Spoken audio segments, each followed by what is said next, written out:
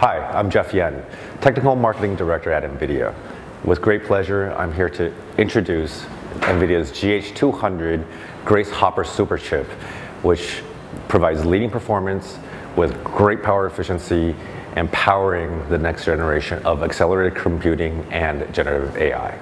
NVIDIA's GH200 Grace Hopper Superchip really combines our Grace CPU with a Hopper GPU to really provide leading performance and optimizations for accelerated computing as well as generative AI.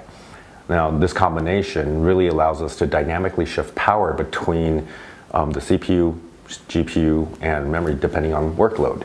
It really makes it more optimized and allows the chip to be very versatile. Not only that, because of our full stack software as well as its own capabilities of one-to-one -one scaling, we're really we can really easily scale out a GH200 system. The GH200 is really powering some of the most powerful supercomputers and applications in the world.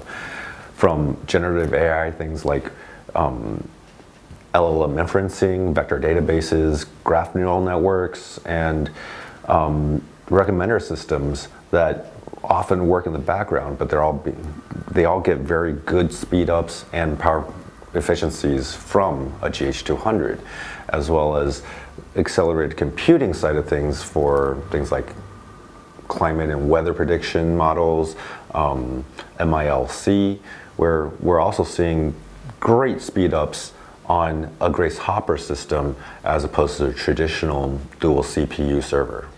NVIDIA has been committed to supercomputing for almost 20 years now.